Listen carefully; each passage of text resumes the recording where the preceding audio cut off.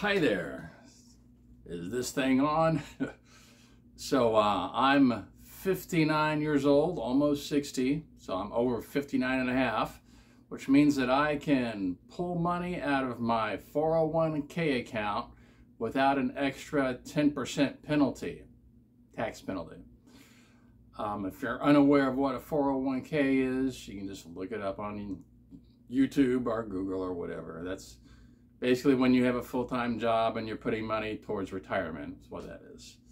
And the idea is um, to uh, pull your money out after you retire so you're a, a, most likely a, a, lower tax bracket. That's the, the probability. Anyway, uh, my name is Greg. I live alone. I used to be married for a good 15 years or more. I've been married twice four grown kids. Um, I used to live up in Indiana for a good 30 years uh, in the Indianapolis area. Um, and I moved back down here to Florida where I grew up as a kid. And uh, I specifically decided to, to find a place in Lakeland because that's where my parents live. And so I'm down here. Um, my sister also lives down the road. So close to my actual family and my kids of course are up in indiana still although one is in another country and um, i don't keep in touch with them all the time. That's just the way it is. Kids grow up they move away right? So that's just the way it is.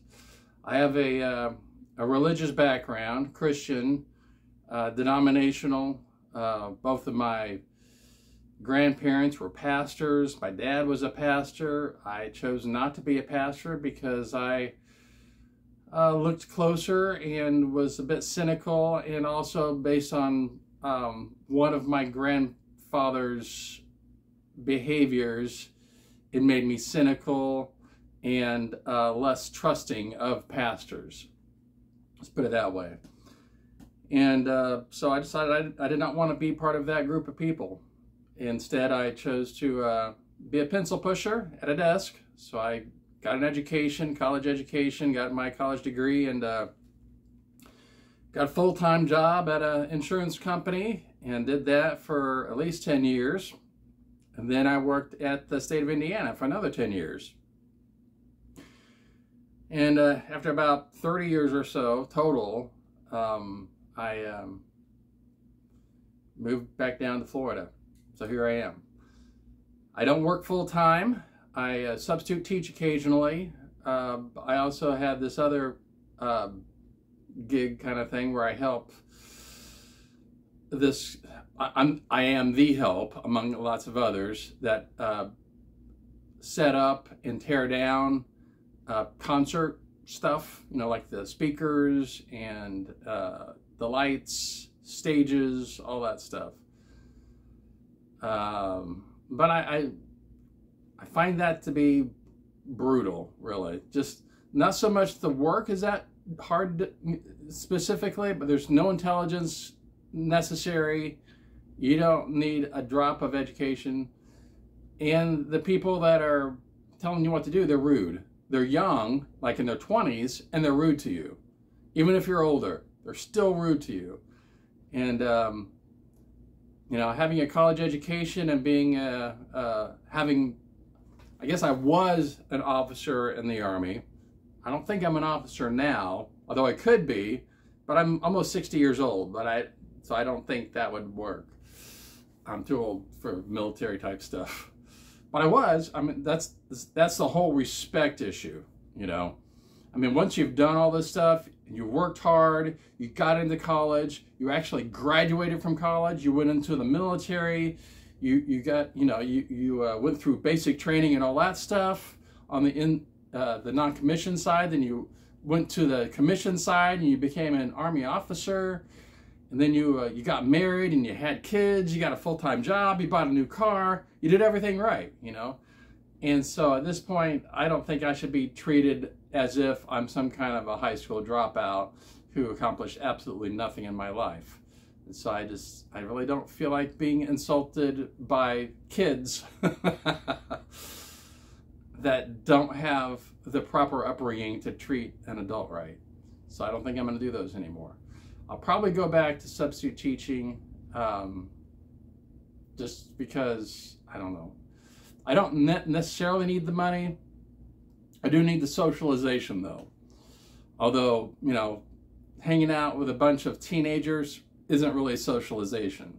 It's more me teaching them how to socialize versus arguing and fighting and all that stuff. And so that's that's kind of me in a nutshell. I I do uh, some uh, guitar type stuff. Like I have a guitar right here. Let me grab my pick. Hold on. And I'm too lazy. I'm, I'm very lazy, okay? I mean, I worked hard in my life, but now I've become, like, become lazy. I don't, I'm not gonna edit this. So if I get off the screen, well, that's the way it is. But anyway, I'm left-handed. This is one of my five or six guitars. And that's my Boss Katana 2 over there that you're hearing.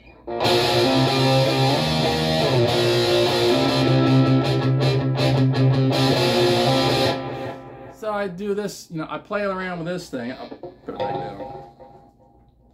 Got to turn it down and then put it down so it doesn't make noise. So that's one of my things that I do just for fun, all by myself. And uh, the funny thing is, in my little neighborhood here, there's actually an over 55 community where everybody is age 55 or older. Um, you might find some spouses that are younger than that because that's allowed down to 45, I think but um, this is summer, and so most people are up north, and so it's pretty quiet. Um, but I noticed that even older people, they can be pretty grumpy and grouchy and, and uh, very controlling, rude. Um, and I didn't expect that. I, I thought that uh, older people were going to become wise and graceful and kind and generous and all that stuff. That's just not true, and it's unfortunate. And it might just be the fact that I'm in Florida, Polk County, not known for its social grace. okay. um, and maybe it's just me. You know, maybe I'm more sensitive or something. Maybe I'm just expecting too much. Uh, I, you know, I can only see out of my eyes, right? And so, um, yeah, but when you move to a totally different state uh, where you don't know anybody other than your family members, um, it's it's kind of hard to, to find friends, uh, especially when people don't want to socialize with you, or if they get immediately offended if you say anything at all that they don't like, right? Um, and then you have the other side where you have people that have seemingly mental problems where they start talking and they refuse to be quiet. Like you just sit there and listen to them for a good 10 minutes solid, right? As if it's a YouTube video, but it's not. They're sitting right next to you and they refuse to be quiet. Yeah, that can be frustrating. So I need to kind of figure out what I want to focus on. Uh, I can go lots of directions. I can go the religious side. I can uh, tell you what scripture verses mean that are in the Old and New Testament in the Bible. I can, you know, explain how a real spiritual experience feels on the inside and on the outside. I can I can tell you how um, it feels to have a, a uh, cognitive dissonance where you know something isn't true, but you don't want to let it go, that sort of thing. Um, you know, I'm, I'm educated as a school teacher. My education is in sociology and secondary education. So I have two college degrees, two BS degrees. Um, I have four raised kids, so I have plenty of parenting experience. Um, but I just have to decide which way I want to go as far as the videos. So if if anybody ever watches this, just throw some comments down on, on what you'd like to hear more about. Um, and hopefully I get better at this. The, the main idea right now is just to actually make a video and then uh, try to be consistent. That's my main issue. I'll, I'll, do one or two and then I'll stop for months. And so my main goal here is to at least make two per week and throw up throw them up there on YouTube and get that to be consistent. So I'm doing two per week. I don't work full time. I don't have kids. I don't have a wife. I have plenty of time. So there's no reason for me not to do this. Uh, I also have an attitude, okay? When it comes to money and doing things for money, that annoys me. So I don't want to feel like I'm doing this for money. I want to be doing this because I want to um, socialize, really, with people.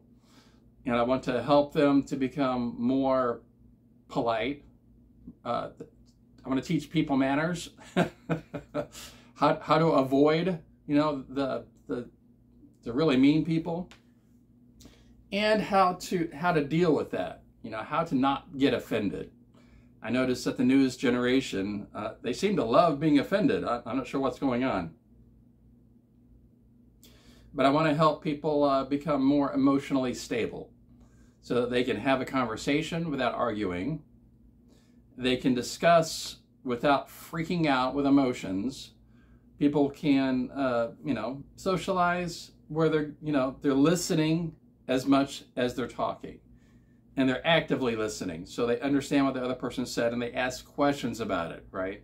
So you actually learn from the other person instead of you and the other people all trying to drown each other out with whatever you want to say and nobody's listening. That really doesn't accomplish a whole lot. And so just I think social skills, I mean I have a degree in sociology and secondary education. That so that shows that that has been my consistent concern for several decades since I was in my 20s, probably since I was a you know a kid, uh, reading about uh, ancient you know philosophers and of course the Bible with uh, Solomon in uh, um, Proverbs, a lot of good stuff in there. So anyway, I'm not sure how long this is, but I'm going to go ahead and cut it off now. Again, my name is Greg. Let me know what you think uh, and what what you would like to hear more about. I, I really do not like the whole idea of trying to push products. Uh, you know, the, it just feels gross. I don't know. You know, capitalism is an it's a necessary evil because people don't know how to garden. But I, I would I would prefer where there was no money. Everybody knows how to garden. We all have gardens outside and we have gardens inside, like a place where it's actually inside away from all the elements where you can can grow your own garden inside of a room you know like a terrarium whatever they call them i don't even remember what they a greenhouse i guess is what you call that. Where everybody would have a greenhouse and they'd grow food inside of there. And then if they had too much of something they could trade with their neighbors and so everybody would have plenty of food and nobody have to go to, to the grocery store you wouldn't have to worry about prices or spending money you wouldn't have to worry about driving to the store and back I think that would be awesome. And if families could stay, you know, in the local vicinity so that, it, you know, if you grow old in your 80s or 90s, you can't do the gardening thing anymore. So wouldn't it be nice if your kids or grandkids, you know, learned how to garden then they would pick up the gardening. You don't need a whole giant farm. You don't need to feed America. Just maybe, you know, yourself and a few other people would be sufficient. And if everybody did that, or most people did that, uh, I think that would really help solve our economic problems where people didn't go in debt. You didn't have all these unnecessary things like cars going everywhere. We don't need to travel everywhere. That should not, you know, entertainment and travel should not be our lives, in my opinion. We should get to know our neighbors. We should learn how to garden. We should be more local. We should be off internet. We should socialize face to face with people and we should learn how to converse in a civilized, polite way. So, all right, that's all I got. Hope you like.